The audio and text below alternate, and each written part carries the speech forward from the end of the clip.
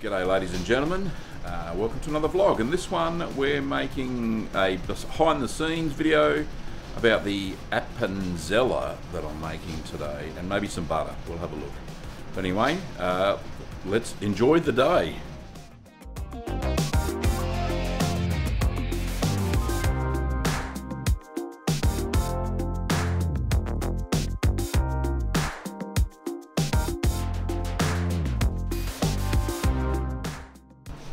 So we're um, sanitising all of the uh, the equipment there, and I've already done the the sink side, of course. Uh, you saw that in the time lapse, but uh, yeah, it's going to be an exciting cheese. First time I made this Swiss style cheese, so Appenzeller, uh, and it has a wash on the outside of it with uh, white wine, Brevibacteria linens, bit of salt, and some special herbs and stuff. And that's the timer just gone off for me to turn off this. Here we go, all turned off. So I'll lay all that out and we'll get started. So I've sanitised all of the, uh, the gear as you can see there and set the pot up. Got my milk all ready to go. And uh, yeah, there it is. And the camera rig.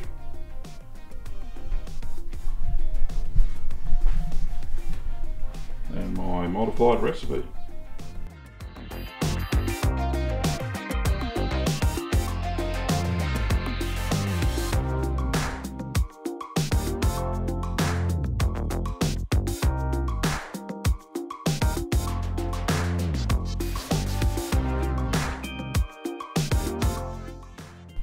So I've got the milk in the pot and it's ripening now. So um, there we go, 45 minutes. Got about 39 to go. So I'm going to go and take the culture back, put it back in the freezer in the studio, and then come back and do some stuff on my PC, answer some business emails. So a successful curd split. I've cut the curds, I've stirred it. Now we're going to wash the curds in a minute. I'm just letting them settle. They're about the size of a plump grain of rice at the moment, which is perfect, what we want it to be. And uh, then I'm going to wash the curds with uh, some water just to lower the acidity a little bit. Uh, and then we'll get on and stir it for a little bit longer, and then we can press it. So I've got the uh, the cheese in the press now, and we're just doing the first pressing, which kind of like consolidates the, the rind of the cheese. So uh, there it is there. Looking good. So in 30 minutes I'll come back and I'll flip it over and press it at a higher pressure. So I just finished uh, pressing, well, we'll put the cheese in the press, so all the curds are in the press uh, for the Appenzeller and I'm, well. what do I do now? Well, it, it'll come out of the press in the morning, so I'm going to get up early, about 6 o'clock, and we'll put it in the brine about then. But for now, I basically have to clean up all of these pots, so we'll get that done now. You really don't want your pots sitting around too much because if they got curds stuck to the sides, then you're going to find that you're going to get uh, what's called cheese stone, which is really hard bits of curd stuck on and it's very difficult to get them off. So get your pots cleaned as quick as possible.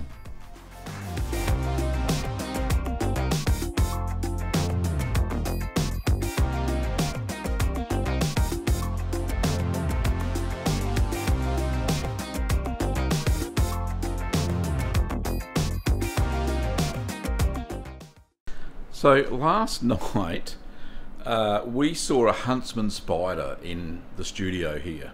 So I'm going to have a quick look. I'll take on a bit of a journey, see what we can see, shall we? See if we can find him. Don't know what I'm going to do when I do find him, but we'll see. We don't normally hurt them, just let them back outside again because they are beneficial spiders and they eat all sorts of uh, bad things, including bad spiders. So Anyway, let's go and have a look for the huntsman. Right, can we see? He was he was up here yesterday. So I don't know where he's gone. Let's have a look.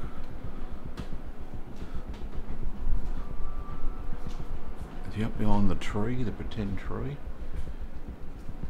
Can't see him. Alright, what about in here? Maybe he's in here. I like to hide in corners. Not a huntsman. I thought it was for a second. No. Oh, where is he? No, he's not on the track, is he? The light track? No. goodness me. I'm going to be looking for weeks for this spider. Not any there. They usually come out at night time, so I'll be in here editing tonight, um, having a few beers while I'm doing the editing. We'll, we'll see how that goes. See if we can find Harry the Huntsman. Now, Kim was actually losing sleep last night because she didn't want a huntsman in her studio. She's scared that it's going to drop down off the roof uh, onto her head or something like that anyway. But uh, yeah, so my mission today apparently is, besides making the uh, Appenzeller cheese, is to find the huntsman. Anyway, don't like me chances until maybe night time because I do like to come out at night because they like to catch the insects. There's, uh, there's no insects in here, so we'll check it out anyway. So as I mentioned before, uh, I had to wait till night time for the huntsman. So I've actually, he's back again. I'll have a quick look. This is going to be, oh, I don't know if we're going to get rid of him, but we'll we'll see. I want to get him off the roof and catch him somehow. So I'll have to figure out what I'm going to do. But anyway, let's have a look at the wee huntsman. There he is there. Can I zoom in? Let's have a look. Here he is. So that's uh, that's five times magnification, but he he's a, I don't know if it's a boy or a girl, can't tell, but there he is. That's what we get here in Australia. Trying to keep him in shot, but yeah, he's. Uh, shall I move? Gonna move, Mr. Huntsman? No. No, I'll leave it at that. Hang on, I'll get back to normal size. So that's that's him there, or her. I'm not sure. Hang on, I'll try and get him. I don't know, get a cup or something and put it up there. We'll see what happens. If I got to film this, so we'll see see if for shits and giggles. Right, so we're focused on the huntsman. Let me get the step ladder.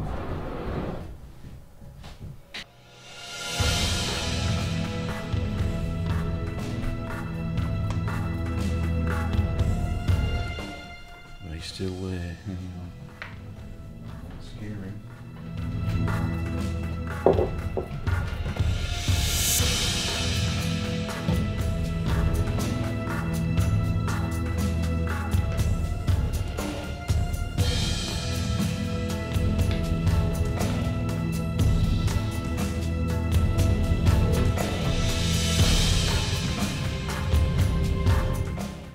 He's in there. Can you see him? Here he is. Harry Huntsman. So I'll go let him outside now. And this is uh, evidence for Kim that I caught him. Quick, gotta go, go check him out.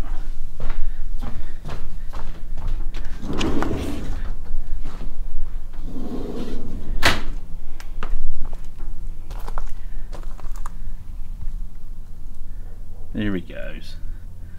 Oh, I think he's chasing me. There he is.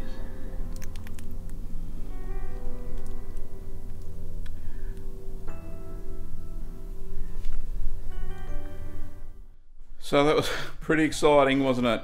We got uh, Harry the Huntsman, and uh, that capped off a rather interesting day. So not only did we make Appenzeller, but we caught a huntsman that was roaming around in the studio, and uh, Kim will be very excited that I caught it.